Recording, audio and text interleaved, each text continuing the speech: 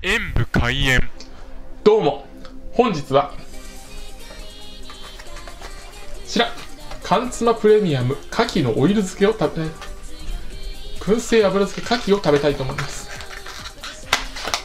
なんで言い直したんだろうね今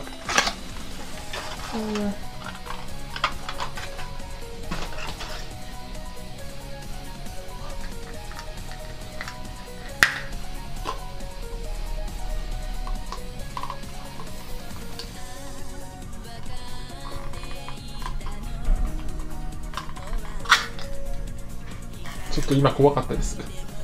あーでも美味しそう。では。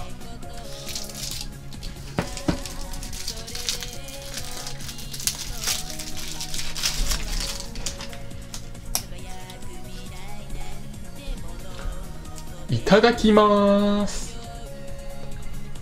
おお見事な牡蠣ですね。ただでは。このホロホロ感久しぶりだね。やっぱり美味しい。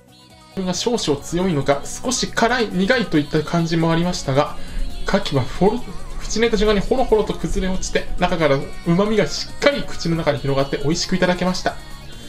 これで油もそんなにしつこくなかったのでさっぱり食べられますね。ご飯にはもちろんおつまみにも絶対いいと思います。まあ自分はお酒飲めないんですけどね。ご視聴ありがとうございました。コメントしていただけると嬉しいです。